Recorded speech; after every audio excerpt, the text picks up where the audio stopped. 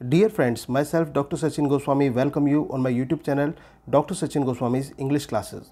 दोस्तों जैसा कि आपको पता ही है कि मैं आपकी U P T G T P G T English K V S N V S और D S S B English की तैयारी मैं आपको करा रहा हूँ और इसके साथ साथ यू जी सी नेट की भी तैयारी मैं आपको कराता चल रहा हूँ इसके लिए मेरे इस चैनल पर प्लेलिस्ट बनी हुई है तो आप U P T G T P G T के लिए U P T G T P G T की प्लेलिस्ट पर जाइए और अदर्स के लिए इंग्लिश लिटरेचर और की प्लेलिस्ट पर आप जा सकते हैं और वहाँ से आप स्टडी कर सकते हैं।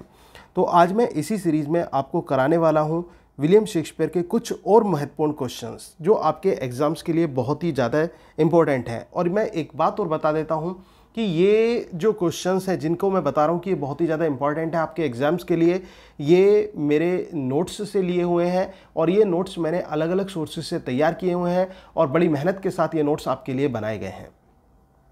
On the Knocking at the Gate in Macbeth is a longer essay of Thomas De Quincey published in 1823 ये क्वेश्चन है, बहुत इंपॉर्टेंट क्वेश्चन है। चाहे आप किसी भी स्तर की तैयारी कर रहे हो क्वेश्चन ये है on the knocking at the gate in Macbeth ये वर्क का नाम है। ये क्या है? सबसे पहले तो यही क्वेश्चन आ जाता है कि on the knocking at the gate in Macbeth क्या है। तो आपका आंसर होगा लॉन्गर ऐसे और दूसरा क्वेश्चन इसमें यह बनता है, किसका लिखा हुआ है? तो yours answer will be Thomas de Quincey ये थॉमस डी क्विंसी का है। तीसरा क्वेश्चन क्या होगा कि ये कब पब्लिश हुआ? 1823 तो ये मैंने नोट्स इस प्रकार के बनाए हुए हैं कि एक एक पॉइंट में अनेकों क्वेश्चंस निकलेंगे। तो इस तरह से आपको पॉइंट टू पॉइंट तैयार करना है। ऑप्शन वाला सिस्टम खत्म कीजिए, क्योंकि अगर आपको डायरेक्टली चीज़ पता है तो आप एकदम आपका माइंड एकदम उस ऑप्शन पर जाएगा और आप उसे सही कर देंगे। Keep up your bright swords for the dew will rust them good signior you shall more command with years than your weapons ये जो लाइन है, ये ओथेलो ने ब्रबेंशियो से कही थी रोड्रिगो और अदर ऑफिसर से कही थी। ये ओथेलो जो है, यहाँ पर ब्रबेंशियो से ये कहता है कि अपनी जो तलवार है, उसको अपने, उसके म्यान में ही रहने दीजिए तलवार को, क्योंकि जो आपका जो कमांड है ना, जो आपकी एज है, आपका जो एक तजुर्बा है, वो बहुत सम्मान करने के योग्य है और हथियारों से कहीं ज़्यादा है। आपका जो तजुर्बा है, वो बोलता है। तो वो बात ओथेलो जो है ब्रोबेंशियो से स्पेशली कहता है in the play Othello something is rotten in the state of Denmark बहुत ही अच्छा एक कमेंट है, बहुत ही इंपॉर्टेंट ये कोटेशन है जो एग्ज़ाम में आती है।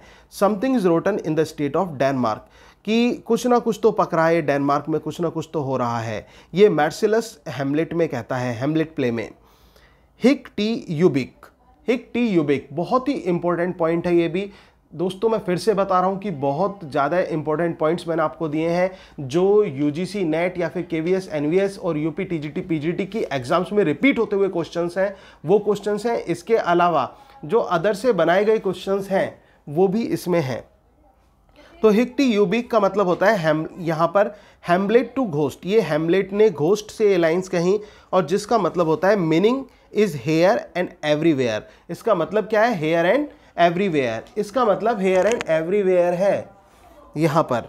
सो आई होप कि आपके क्लियर हो गया होगा. हिक इट यूबिक का means here is everywhere and it is said to ghost by Hamlet ये हेमलेट ने घोस्ट से कहा था.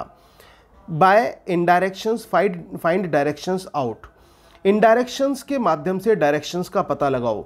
ये पोलोनियस ने कहा था रेनाल्डो से पोलोनियस ने रेनाल्डो से कहा था ये, और ये हेमलेट प्ले में ही ये लाइंस आती हैं।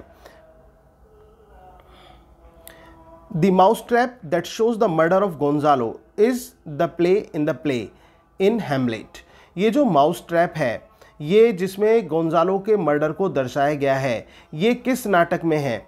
ये प्ले है प्ले इन प्ले है और किस प्ले में है? हेमलेट में है।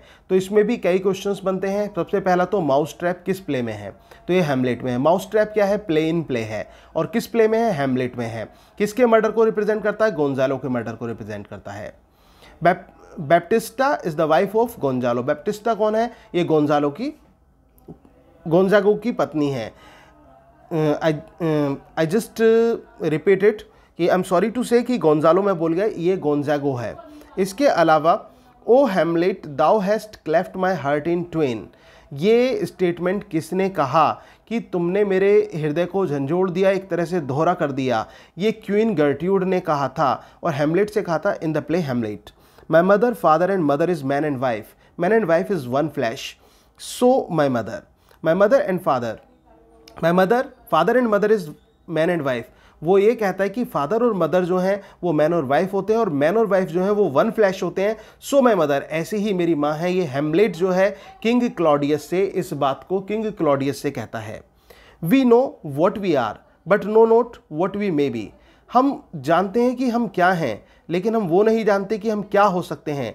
It is the statement said by Ophelia in the play Hamlet when sorrow come they came not single spies but in battalion जब दुख आता है तो वो सिंगल रूप में नहीं आता, बल्कि एक पूरी टोली के साथ आता है। It is said by King Claudius in the play Hamlet ये हेमलेट में किंग क्लॉडियस ने कहा है। Where the offence is let the great axe fall जहाँ पर भी अपराध हो, वहाँ पर इस एक्स को गिरने दो। ठीक है, ये स्टेटमेंट किंग क्लॉडियस ने कहा था in the play Hamlet I hope कि आपको ये जो मैंने पॉइंट्स बताए हैं, ये आपको समझ में आ गए होंगे। अगर दोस्तों आपको ये पॉइंट समझ में आए और आपको ये वीडियो अच्छी लगी, या फिर जो मैं आपकी तैयारी है टीजीटी पीजीटी इंग्लिश की करा रहा हूँ, ये आपको पसंद आ रही हो और आपने अभी तक भी मेरे चैनल को सब्सक्राइब नहीं किया है, so i request you to subscribe my channel and do not forget to press the bell icon while subscribing this channel. Thank you very much. Yours